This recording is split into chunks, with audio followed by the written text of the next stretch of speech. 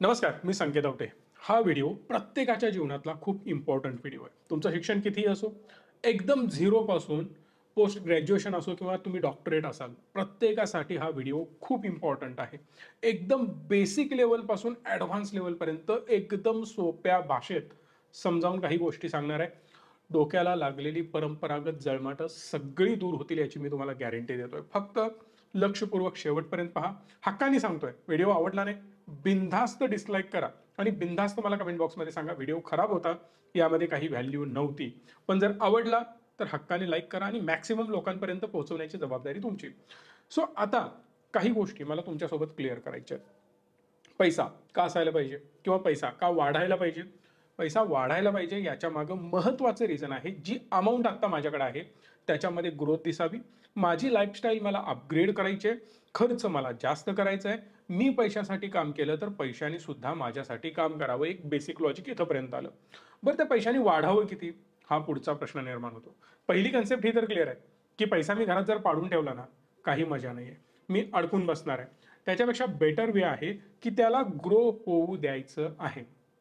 आता मजेदार काही गोष्टी मला तुम्हाला समजावून सांगायच्या आहेत. बघा माझ्याकडे आहेत एक करोड रुपये. एक सिंपल एक्झाम्पल म्हणून आपण घेऊयात किंवा तुम्हाला मी दाखवू पण शकतो इथे. राईट करून दाखवतोय. व्हिडिओ एकदम रॉ घेतोय मी. जास्त एडिटिंग वगैरे यामध्ये बिलकुल होणार नाही आहे जे आहे ते तुमच्या डोळ्यासमोर आहे. याच्यामध्ये जास्त तामझाम मी बिलकुल करणार नाही. एकदम शांत निवांत व्हिडिओ होणार आहे. थोडासा लेंदी होईल कारण आपण कॅज्युअली गप्पा सुद्धा यात मारत जातोय. आपण इमॅजिन करूया एखाद्या व्यक्तीकडे वीस लाख रुपये आहेत. वीस लाख रुपये आहेत ते सुद्धा कॅशमध्ये पैशाचं महत्त्व फक्त तुम्हाला सांगतोय मी. आणि सगळे कन्सेप्ट सगळ्या गोष्टी माझ्याकडे कॅश पडली आहे. काय करू? माझ्याकडे एफ डीमध्ये पैसे पडलेत काय करू? मी खूप जास्त इन्शुरन्स केले आता काय करू? मी हे स्टॉक बाय केलेत काय करू? माझे म्युच्युअल फंडमध्ये गुंतवणूक आहे काय करू? या सगळ्या प्रश्नांची उत्तरे तुम्हाला ऑटोमॅटिकली मिळत जाणार आहेत. समजा माझ्याकडे वीस लाख रुपये कॅश पडलेली आहे आता ही कॅश गेले मागचे वर्ष किंवा दोन वर्षापासून ही माझ्याकडे पैसे पडून आहेत आता इथून पुढे पण मी त्याला सेव्ह करणार आहे. कॅश आहे ठेवायची आहे गडबड नको आहे समजा मी याला होल्ड करतोय. किती वेळासाठी? वीस वर्षासाठी समजा किंवा दहा वर्षासाठी ॲव्हरेज एक वीस लाख रुपये माझ्याकडे पडून असतात. आता बऱ्याच लोकांची मी बऱ्याच उद्योगपती लोकांना ओळखतो बऱ्याच मोठमोठ्या लोकांना ओळखतो मोठी मोठी कॅशची अमाऊंट पडून असते. आता मला त्यामध्ये जास्त खोलात जायचं नाही आहे पण लक्षात घ्या आलेला पैसा टॅक्स वाचवण्यासाठी इकडून तिकडून पराक्रम करण्यासाठी हे सगळं केलेलं असतं. पण या सगळ्यामध्ये होतं काय तुम्हाला माहिती आहे का? हे पैसे वाचवण्याच्या नादामध्ये आपण काय करतो? टॅक्स वाचवण्याच्या नादामध्ये ती कॅश तशीच ठेवतो. आता मजेदार गोष्ट मी तुम्हाला सांगतो. समजा वीस लाख रुपये तुम्ही वाचवलेत. आता वीस लाख रुपये जर तुम्ही वाचवताय त्याला टॅक्स किती येणार आहे हो? एकदम सिंपल माझा सोपा प्रश्न आहे. किती येणार आहे? वीस टक्क्याप्रमाणे जरी तुम्ही कॅल्क्युलेट मी म्हणतोय चला तीस टक्क्याने कॅल्क्युलेट करू. तर अप्रॉक्सिमेटली यावर लागणारा जो टॅक्स असेल तो खूप जास्त झाला तर पाच लाखाच्या आसपास. आता तुम्ही म्हणाल तीन दोन्ही सहा लाख येतो तर नाही येत तसं. त्याचं कॅल्क्युलेशन वेगळ्या पद्धतीनं असतं. तर मॅक्सिमम पाच लाख रुपये तुम्हाला यावर टॅक्स भरावा लागेल. मग जर माझा हा पाच लाख रुपये टॅक्स जाणार असेल तर बॅलन्स अमाऊंट किती राहणार आहे माझ्या हातामध्ये? तर अप्रॉक्सिमेटली ते असेल पंधरा लाख रुपये. मग पाच लाख रुपये तर गेले पंधरा लाख रुपये राहिले. सो दॅट हे पंधरा लाख रुपये व्हाईट करून त्याला टॅक्स भरून उरलेले पैसे इन्व्हेस्ट करण्यापेक्षा जाऊ दे ना कॅशच घरी ठेवतो. हे एक लॉजिक आपल्या आपल्या डोक्यामध्ये असतं. आता मजेदार गोष्ट मी तुम्हाला सांगतो. कॅश घरात ठेवणं दोन नंबर उद्योग करून लफडी करून पैसे वाचवणं हे कम्प्लिटली बंद करून टाका. बघा म्हणजे फायनान्शियली पण मी व्यवस्थित तुम्हाला ते समजावून सांगतो आणि प्लस मेंटली पण व्यवस्थित समजावून सांगतो. फायनान्शियली काय फायदा आहे? तर हा जो पैसा आहे ना हा पैसा आपण ग्रो करू शकतो. कसा? हे दाखवतो पण मेंटली फायदा काय हे पण सांगतो. घरात कॅश ठेवले काहीतरी लपडं होईल रेड पडेल कोणीतरी मागं लागेल कशाला शंभर वानगडी नंतर ते जर कळालं तर त्याच्यावर हंड्रेड पर्सेंट एक्स्ट्रा टॅक्स लागतो. म्हणजे तुम्ही वीस लाख रुपये साठवलेत.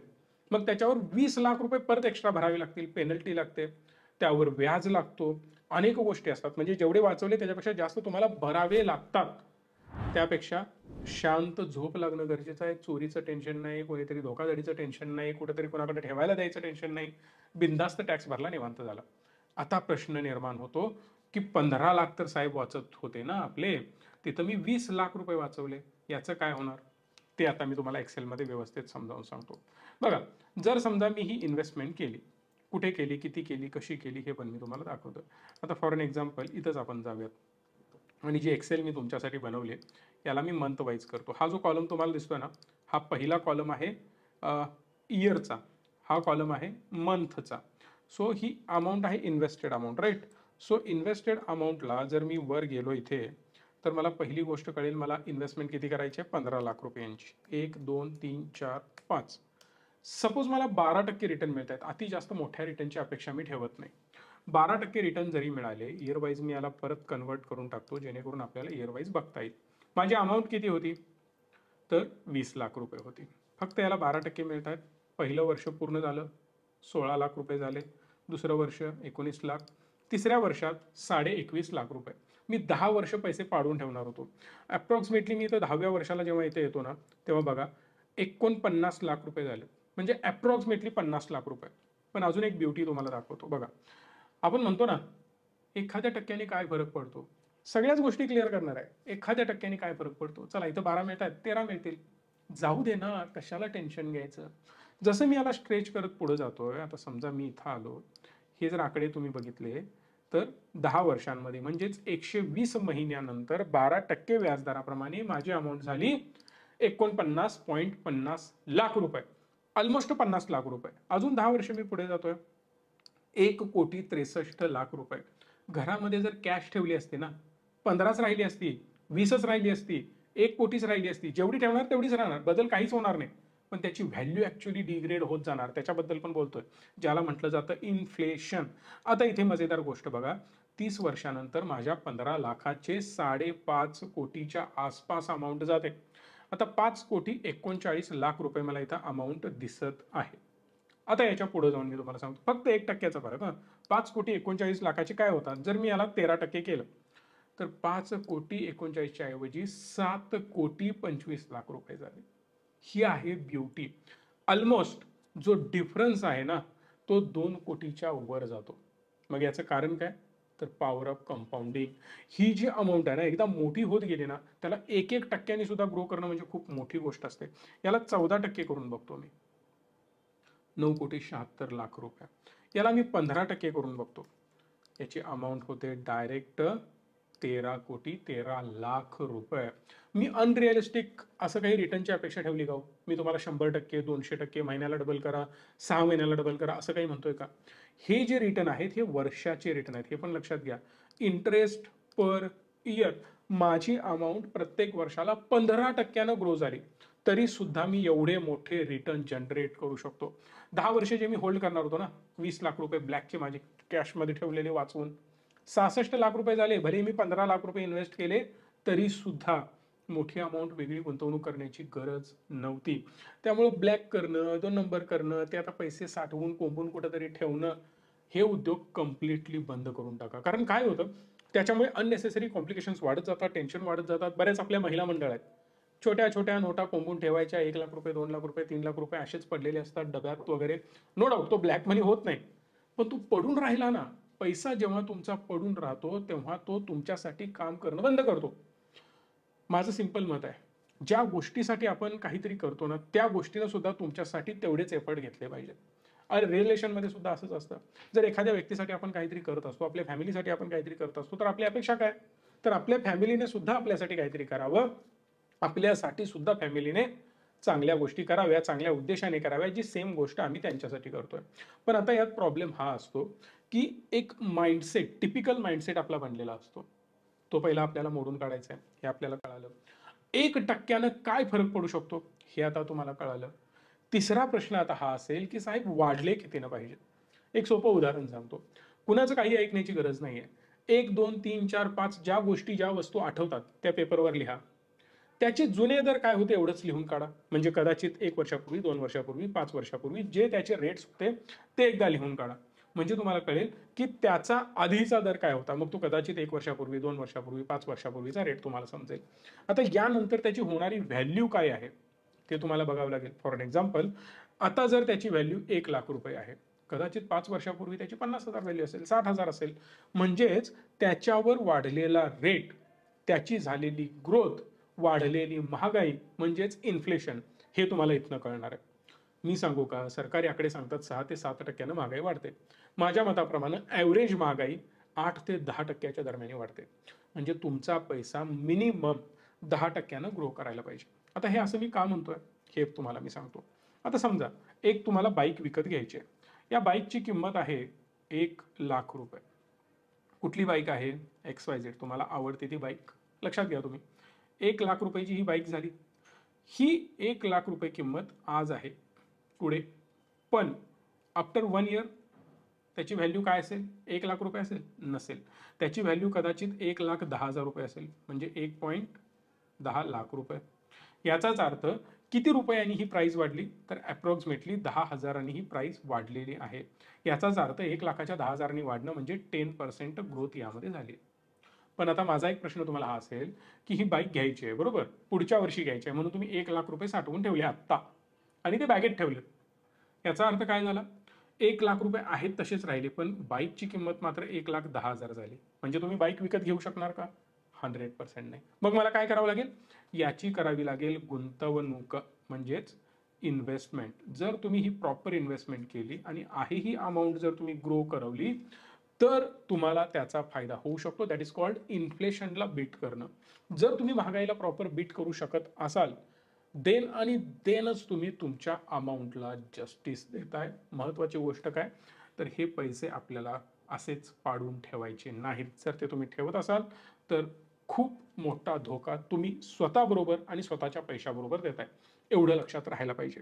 सो दॅट माझी कन्सेप्ट ही क्लिअर झाली की मला माझे पैसे पाडून ठेवायचे नाही आहेत किती टक्क्यांनी ग्रो करायचे आहेत ऑलमोस्ट ऑलमोस्ट आठ ते दहा टक्क्यांची ग्रोथ खूप मिनिमम बेअर मिनिमम मला दिसायला पाहिजे. म्हणजे माझ्या पैशाचं व्हॅल्युएशन डाऊन नाही झालं पाहिजे. आता यात वेगवेगळे कॅच असतात. काय कॅच असतात? मी कुठल्या गोष्टींसाठी पैसे साठवतो जर तुम्ही शिक्षणाचा खर्च बघितलात तर तो ॲप्रॉक्सिमेटली पंधरा टक्क्याच्या आसपास ग्रो होतोय. जर तुम्ही हेल्थ केअर म्हणजेच जर तुम्ही दवाखाना आजारपण याचा खर्च बघितलात तर तो ॲप्रॉक्सिमेटली चौदा टक्क्यांनी ग्रो होतोय.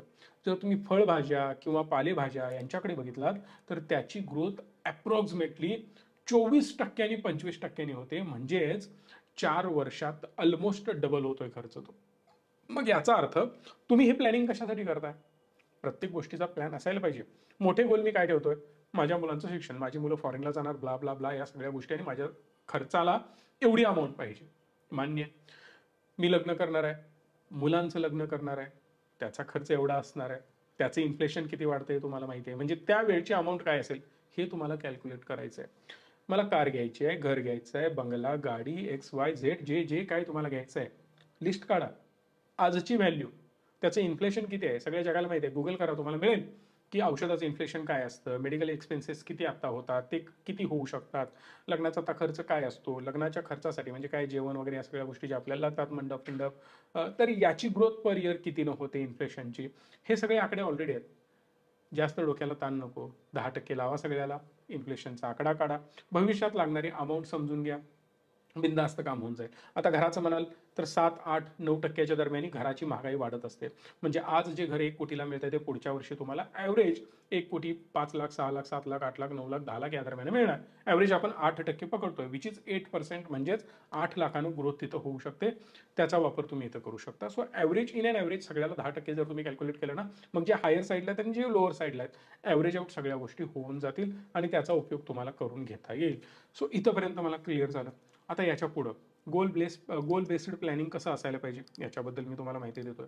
बघा हे वेगवेगळे कॅल्क्युलेशन्स आहेत. आता इथं समजा मला माझ्या मुलांचं शिक्षण करायचं आहे मी इथं लिहिलं की एज्युकेशन के जीपासून पाचवीपर्यंत जे माझ्या मुलग्याचं मुलगीचा खर्च येणार आहे प्रत्येक वर्षाला पन्नास हजार खर्च. साडेतीन लाख रुपये तो खर्च झाला. सहावी ते दहावी पन्नास हजारच खर्च. अडीच लाख रुपये झाला. अकरावी बारावी एक एक लाख रुपये पर इयर म्हणजे मी दोन लाख खर्च करणार. ग्रॅज्युएशनला तीन वर्ष लागणार आहेत आणि प्रत्येक वर्षाला दीड लाख रुपये खर्च येणार. साडेचार लाख रुपये झाला.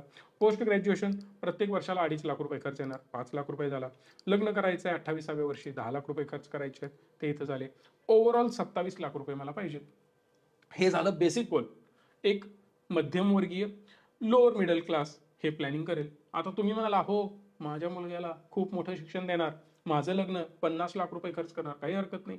बिंदास्त करा हे आकडे चेंज करा आणि त्याप्रमाणे तुमचा प्लॅन बदलून घेऊ शकता. आता फॉर एक्झाम्पल याचं जर मी कॅल्क्युलेशन बघितलं तर मी तीन हजाराची एस आय पी करतोय समजा. मल्टिपल ऑप्शन आहेत. इथंही एस आय पीची अमाऊंट तुम्हाला दिसेल आणि दरवर्षी मी दहा टक्क्यानं ग्रो करत जातोय. मग हे जर माझं टार्गेट असेल तर हे यातून पूर्ण होतं का? तर डेफिनेटली होतं. बघा हे पन्नास पन्नास हजार काढले इथं एक एक लाख रुपये काढले दीड दीड लाख रुपये काढले पोस्ट ग्रॅज्युएशनचे अडीच लाख रुपये काढले. अशा प्रकारे मी ते खर्च बाहेर काढत गेलो. आणि शेवटी इथं एक कोटी रुपये काढले. लग्नाला किती पाहिजे होते? चला पंचवीस लाख रुपये आपण धरू. एक दोन तीन चार पाच. सो लग्नाचा खर्च एवढा मोठा करणे हे मला तरी पर्सनली पटत नाही. बाकी तुम्हाला आवडत असेल ऑब्विसली खर्च करावा. कोणाचा डिसिजन कसा असेल तो प्रत्येकाचा स्वभाव आणि प्रत्येकाचे विचार वेगवेगळे असतात.